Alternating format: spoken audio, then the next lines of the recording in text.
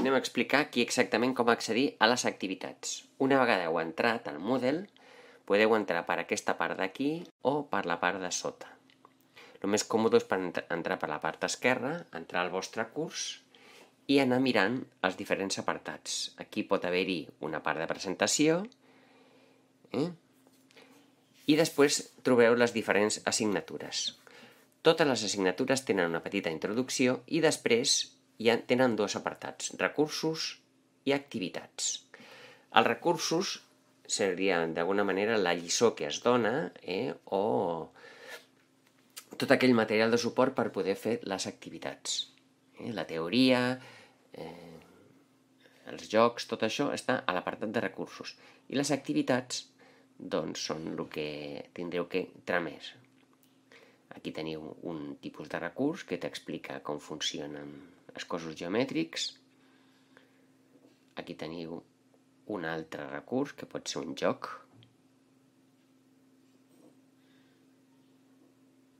Aquí podeu obrir, llavors ja esteu dintre la pàgina web. Un altre recurs pot ser un vídeo.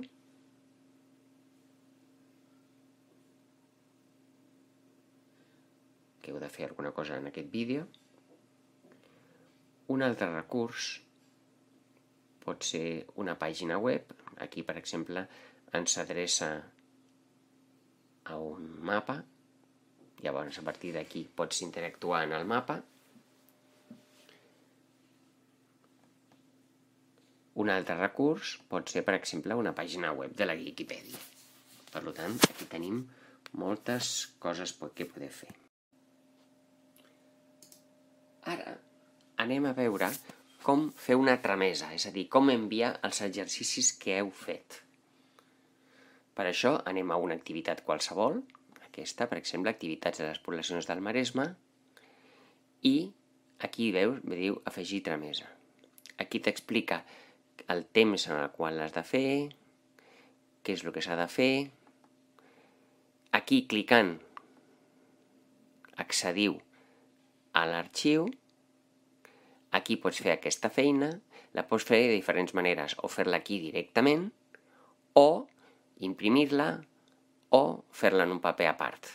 Dona igual. Eh? L'important és fer l'activitat. I una vegada has fet l'activitat, sigui d'una manera o de l'altra, aleshores el que has de fer és enviar-la al mestre. I és aquí, en aquest apartat, afegir tramesa afegeixis la tramesa, aquí escrius presentant-te i dient hola, John, t'envio això. Eh?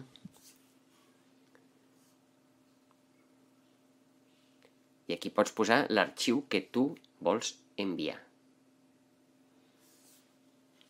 al mestre.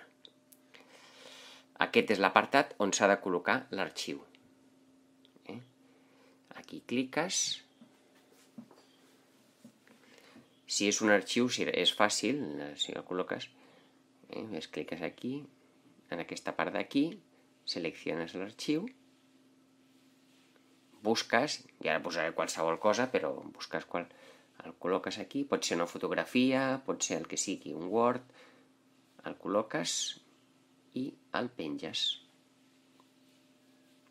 Ja està. Ja tenim aquí l'arxiu que vols enviar. També pot ser, pots agafar-lo d'aquesta manera i col·locar-lo, així, arrossegant. Veus? Ara ja he enviat dues coses. Deso els canvis, sempre s'ha de desar.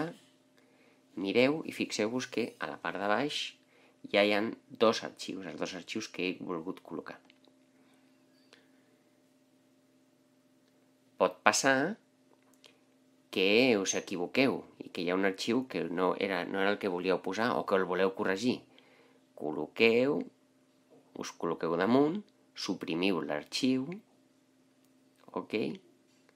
I ara tornem a col·locar, ara col·loqueu l'arxiu que vosaltres volíeu necessitar, poseu aquí, desar els canvis, i ja està.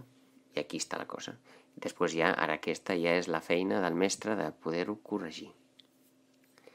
Fixeu-vos totes les dades que us posen perquè en aquestes dades estarà tota la informació que necessiteu.